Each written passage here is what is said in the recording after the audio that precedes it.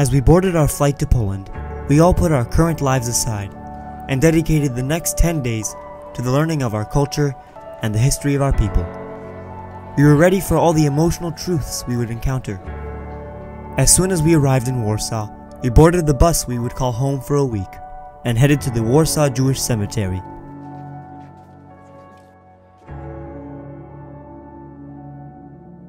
We got to see the tombs of many famous and influential Jews. The ethereal beauty of the cemetery complemented our first hours in Poland so well.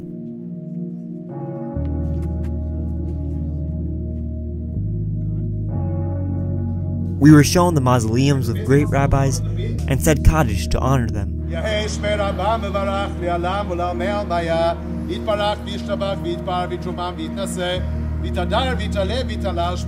Even as our first stop, the cemetery already brought us closer to each other and with our heritage. Okay, this over here behind me isn't a grave, otherwise I wouldn't be standing on it. It's a memorial. It's a memorial to fighters. You can see fighters in the Warsaw Ghetto Uprising, but a specific group of fighters. These were fighters who belonged to something called the Jewish Bund. Esther, Esther Rochel Kaminska wasn't a rabbi. She wasn't a visionary. She was the founder of Yiddish theater in Poland. This over here is a monument, more than a grave, to three Yiddish writers. The two that interest us are the top one and the bottom one. The top one's name is Yud Lamed Peretz, Yudale Peretz. And the bottom one is uh, a chap by the name of Shin Ansky. His name wasn't Shin Ansky. His name actually was Shloimi Rappaport. My name was Shloimi Rappaport. I might change it to Shin Ansky as well, but I'll leave that hanging.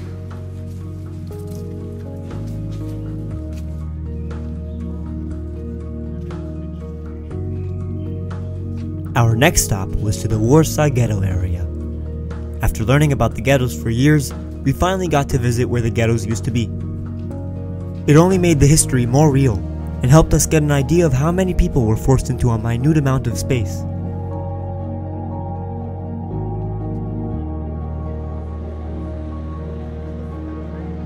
Next was a national monument at the infamous Umschlagplatz.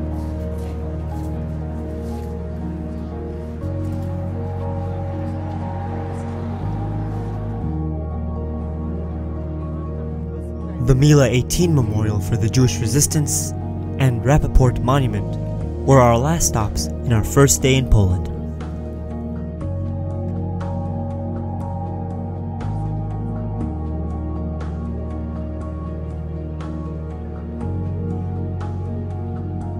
We were all amazed by the many memorials and monuments that were erected in Warsaw. On our second day, we headed from Bialystok to the centuries-old synagogue in Tikoshin, and became the first group in the shul to sing Zmirot in a very long time.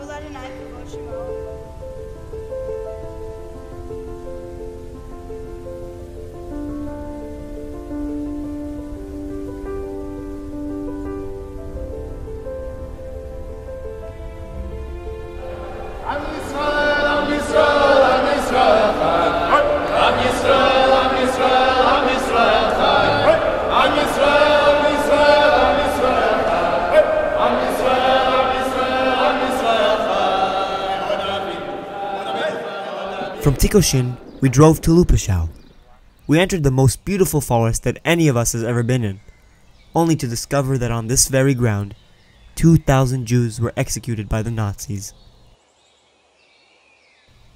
We were astonished that such a breathtaking forest could hold such a grim and sickening past.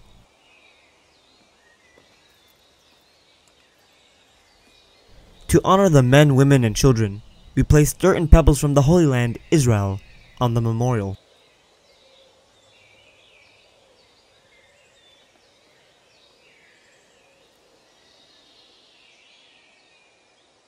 Now we were on our way to the Treblinka extermination camp, or at least where it once stood. A suitable memorial was built in its place, with concrete blocks symbolizing the path to Treblinka, countless boulders, and a granite tower.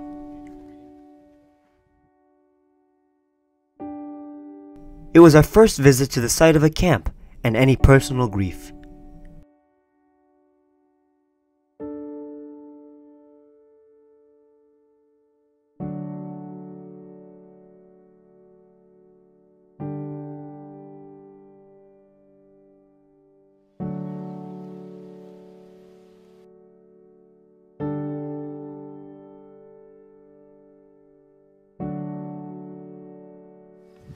Fir trees grow there, and a regular signboard saying,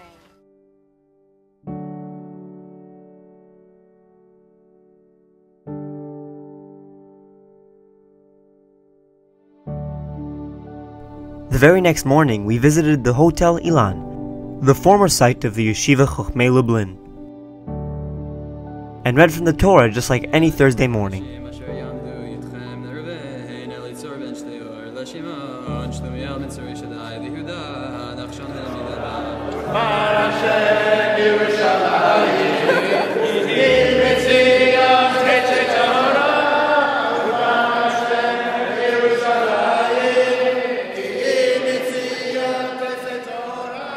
Except any positive feelings were immediately dropped once we arrived at Majdanek, the first intact death camp that we were to visit on our trip.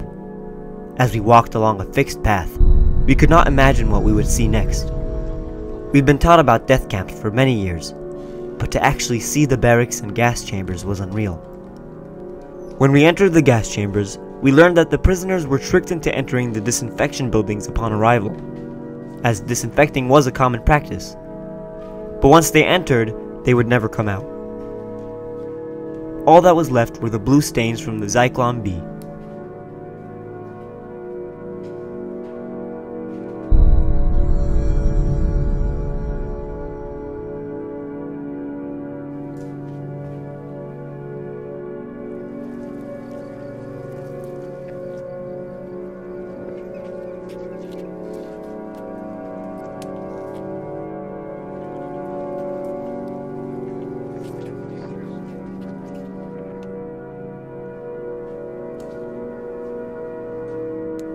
We got to see where the prisoners would sleep, and worse, the monument that was built containing the ashes of cremated victims, with the crematorium and its ovens right beside it.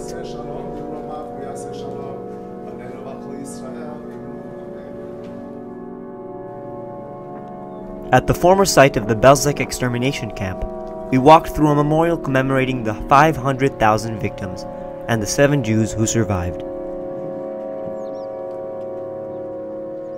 It was alarming to hear of an extermination camp that was relatively unknown because of the small amount of survivors.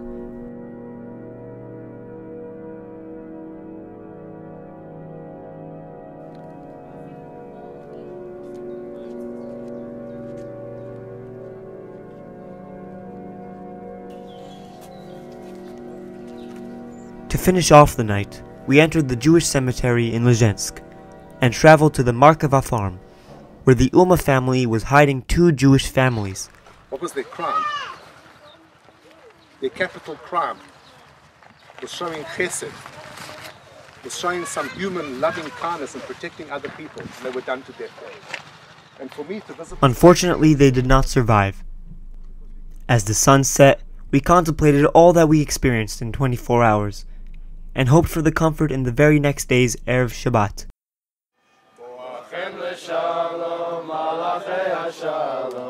On Friday morning, we came to Tarnow to see the former site of a once great synagogue.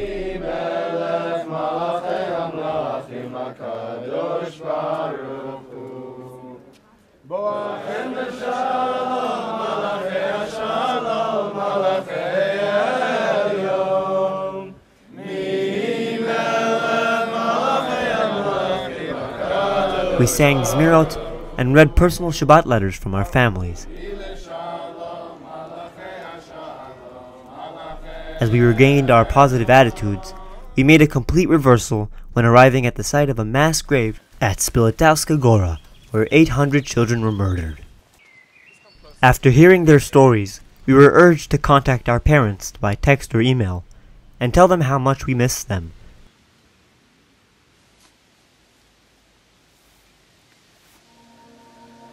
The roller coaster of emotion did not end there as we walked through Krakow's merry Jewish quarters.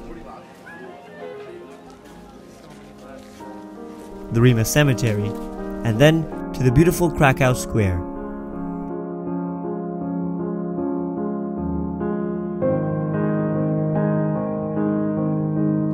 We marveled at the European architecture, entered the market, and even bought some trinkets and souvenirs. After a spiritual and eye opening Shabbat, we made our way to the house of Amon Goth, an SS captain and commandant of the Krakow Plaszow concentration camp. We went down to his basement and set Abdallah where he abused his Jewish maids.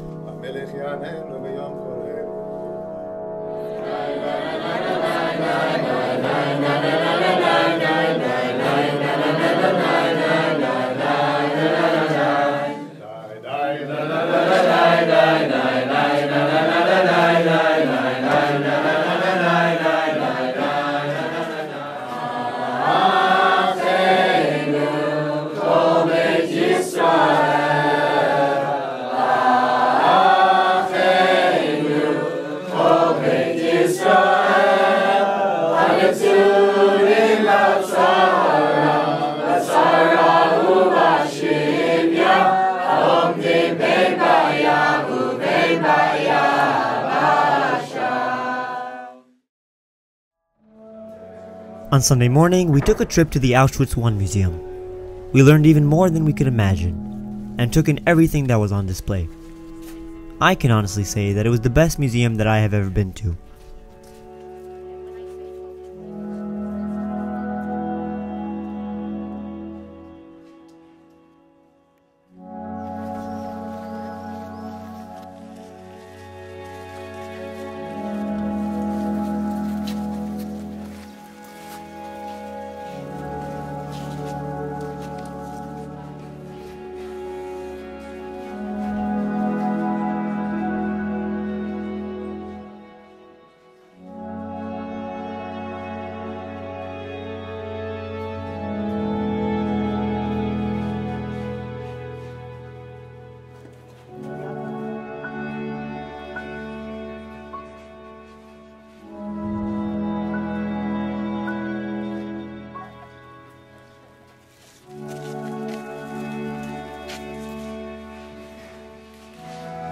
When it was finally time to go to the infamous Auschwitz Birkenau, we braced ourselves for the apex of our trip.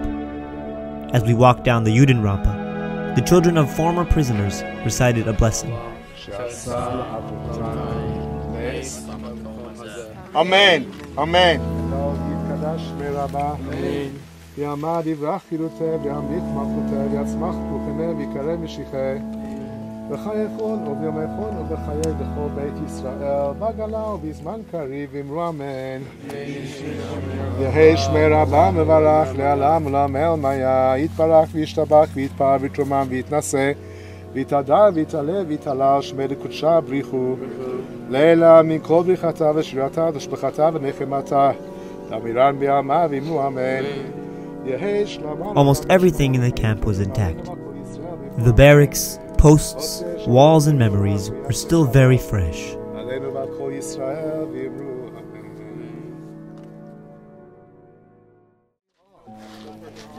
On our last day in Poland, we visited many places, like the Lodz Jewish Cemetery, the Radegast train station,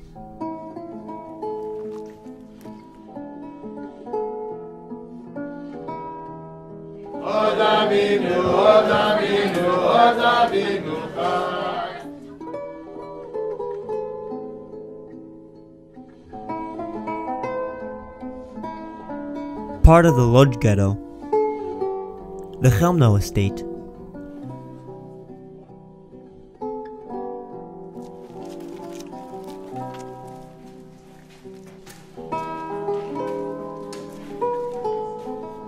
and finally, the site where the Chelmno extermination camp once stood.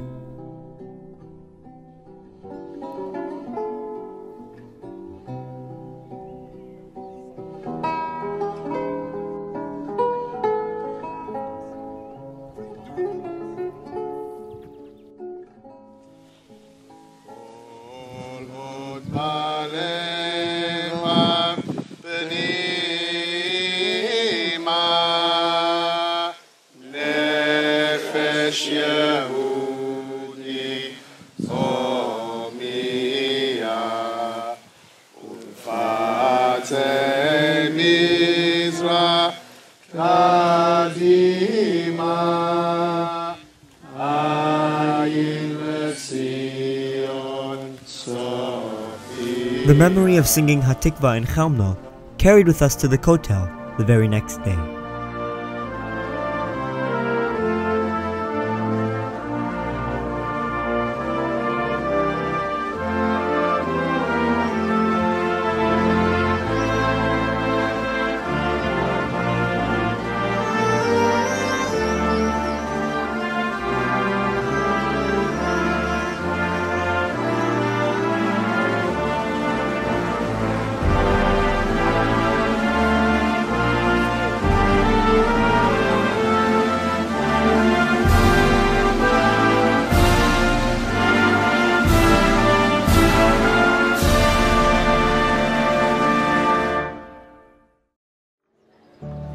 On our second day in Israel, we toured the city of David and its tunnels.